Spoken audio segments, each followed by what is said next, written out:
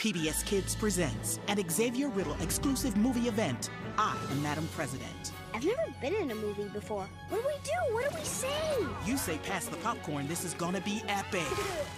it's a movie special filled with high flying adventure, daring rescues, I've got this.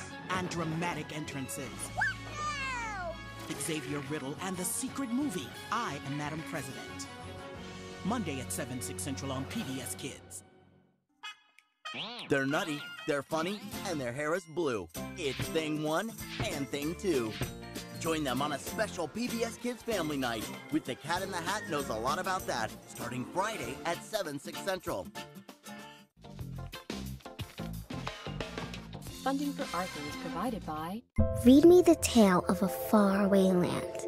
Tell me of planets with oceans of sand. Take me to places my passions pursue. Teach me to read, and I'll teach someone too. Homer is a proud sponsor of PBS Kids. Target believes that the power of play and the joy of everyday life are all around. Target is a proud sponsor of PBS Kids. a cooperative agreement with the U.S. Department of Education's Ready to Learn grant, and by viewers like you. Thank you.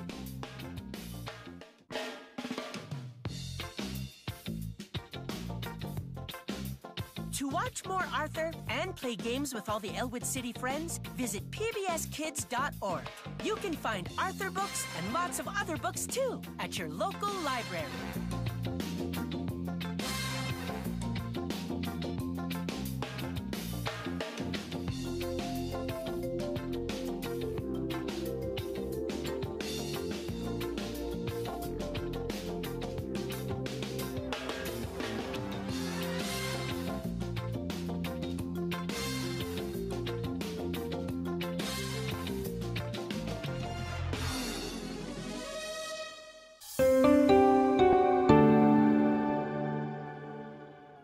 Join your fave PBS Kids stars for our all you can read fundraiser, Saturday, May 4th, featuring public book readings for children, a tech lab with apps from PBS and PBS Kids, and a special visit from Clifford the Big Red Dog. Don't miss it. See you there.